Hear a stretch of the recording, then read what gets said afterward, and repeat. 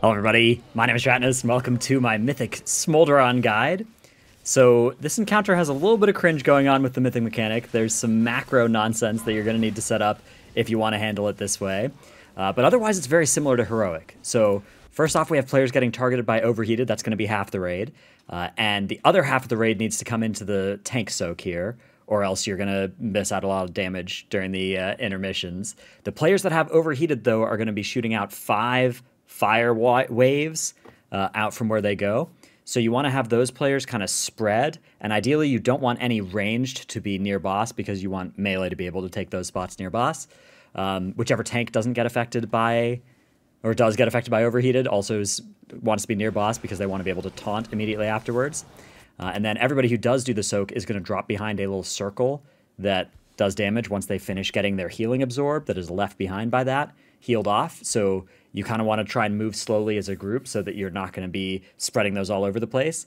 Uh, and that does mean that you're going to have to get out of wherever you did that soak. It's like a three second delay until it explodes, so you do want to start moving, but slowly, uh, pretty quick after that.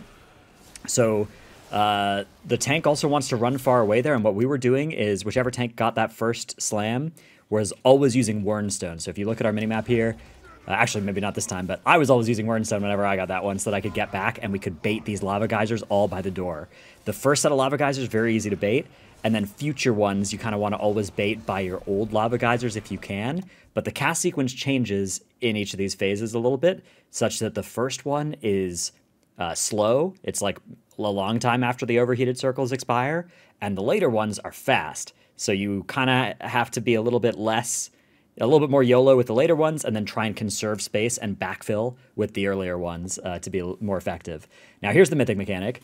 And the way this Mythic mechanic works is that four orbs will spawn, and they'll fixate four players. And they it's a private aura, so your weak auras can't tell who's affected by it. So you need to get a macro that talks to a weak aura, that then creates a list of those players in order of pressing the macro, and then you need somebody to call out uh, those names or just have people go once this vulnerable goes away because if you have two soak within that vulnerable window uh, you're going to explode. So for us here for instance uh, we got this you, this weak aura that we have is, is, a publicly available one. By the time you're watching this there may be liquid and echo ones out that may be slightly better but the general functionality is very limited on this. It does require everybody to press the macro. If somebody who isn't targeted presses the macro it's going to mess up. The macro you're going to have to do a lot of adjusting. Uh, but you want to have one of these get soaked pretty quick here. So we have our people press, and then our first person soak, and then as soon as that vulnerability debuff is off, our second person is going to go and soak theirs, and then third, and then fourth. And uh, if you're targeted by one of these, you have to sometimes plan ahead your movement, especially if you're four and you needed to soak this tank slam. You'd want to make sure that you kite it in a nice wide arc so that the ball wouldn't be going through you and uh, and making it impossible to both soak and avoid it for a while. Um, so yeah, here we now have the next Searing Aftermath, which again, this is just after the tank soak. Uh, the tank has a fall off damage thing, so you just run away, and then I, I back in. Uh, after that, Wernstone two minute cooldown, so uh, not something you can do every phase, but you can do it like two or three phases depending on which ones you get targeted. We enter the first intermission here, which uh, this one is a good one to pot because you can pot the first and the fourth, and you want to lust the third uh, typically because that one is one where people get a lot of uptime. Uh, and you need to collect all five of your orbs. You won't see the orbs if you didn't soak the tank slam. Uh, you won't get any orbs, but those orbs give you 100% increased damage and 50% increased healing. You need to get all five. If you don't get all five, the boss is going to get them, and each one the boss gets gives him 5% damage for the rest of the fight. So it's not like a wipe if one goes in, but it's very, very bad. It's one of those things where like you need to clamp down on that if that's happening in your raid. Uh, you got to prevent people from doing that. Um, so out of that first intermission, 72% is very low. If you, 75% even is good uh, out of that first intermission. Uh, and then we're just kind of repeating this process. The boss is always being brought near the old fire and aimed backwards, and the tank slam is being done pretty much on the old fire.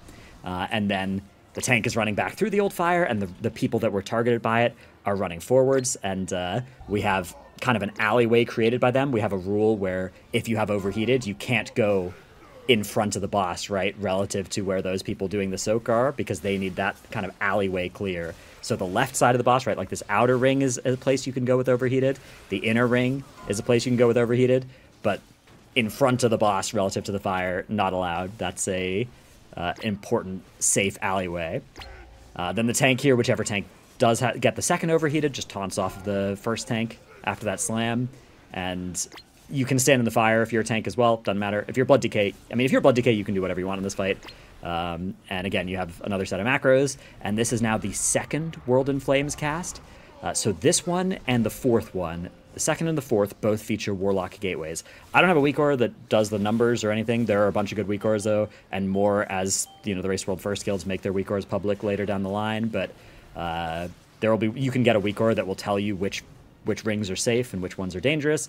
Um, as a Blood DK, you can just get hit as well. It doesn't matter. Uh, there's just basically nothing that can kill you here. You can see me. I AMS this one. You don't have to. You can just get hit by it, but uh, that was the gateway one, and then you gateway, and then you have to run back in quickly. So we also use Windrush there. Stampeding Roar is good too. Uh, movement cooldown so that people can move in quickly. Evokers Rescuing Priests is a nice combo as well, similar to Raszageth. Uh, that's nice. Uh, and each time the boss does an intermission, it's gaining 10% increased damage as well. So uh, things are getting sketchier. A thing you have to be careful of as the Blood DK uh, is that when you do this soak, you get a big healing absorb on you, but if you instantly Death Strike, you will instantly drop one of these circles under the raid, which is bad. So I always stutter step out, except for the times I forgot during progression and killed people. Always stutter step out and then Death Strike like right as I'm getting out of melee range to try and make this circle not somewhere that's going to kill everybody, like right in the middle of that tank soak. Um, then here, I'm i I'm not actually entirely sure how I died. This Searing Aftermath did like way more damage than it usually does. I think it's because I was out in the fire. I think that does something bad. I'm not 100% sure. I was kind of confused by that, but uh, as well as is tradition, you die to something new and then end up killing the boss on that pull anyway. So uh, that was a funny, funny little moment there. Not so it killed uh, like I don't know. Anyways, um, tank slams great spot for for raid cooldowns, stuff like AMS, stuff like darkness. Um, as we approach the third of these World in Flames, this is the spot where you want to hold two minutes. So two minutes can go on pull at around two minutes, and then here on the third World in Flames. Um, or you could just use them on the first World in Flames and the third World in Flames, depending, uh, because of course 100% damage amp is a lot. Um, either of those is probably fine. Uh, and then, yeah, boss is about to enter execute range here during this one. So you can see this one is a bit weird.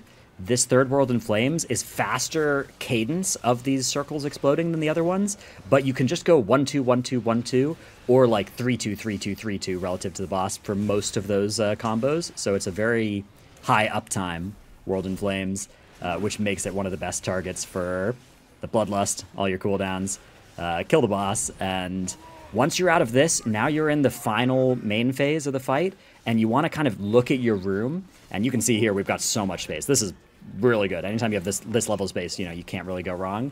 Um, but if you have less, you kind of just want to identify a line from the middle of the room to the outside of the room that is currently not covered in fire, and then don't fill it with fire. And anybody who's dropping these lava geysers can go anywhere else except for whatever line you're trying to keep clear, because you do need a full line of, of empty space from the middle of the room to an edge of the room that people can play in during the final World in Flames and during the uh, encroaching destruction at the very end, because otherwise you're gonna. There's another gateway in that set that, you know, if you're gating through fire or running through fire, people are gonna be dying uh, during that one. So that's another important uh, important thing to note. Here you can see these last lava geysers again baited really nicely. We've got just tremendous amounts of uh, of extra room on this one. This uh, this pull was was very clean on that front, uh, and you can see here. So this I'll show you why you need this much, or you need some some free space, but it can be a very narrow channel to the outside of the room.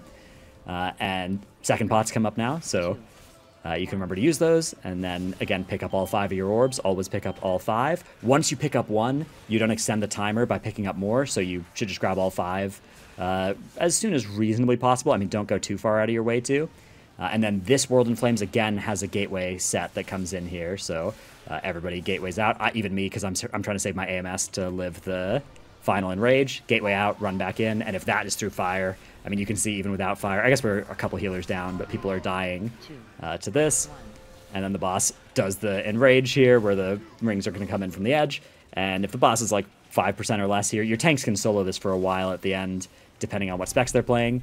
Uh, that is all there is to it, though. Hope you enjoyed this video. Uh, probably a little while until the Tindral one comes out, based on how that fight is so far. Um, and yeah, see you in the next one. Bye.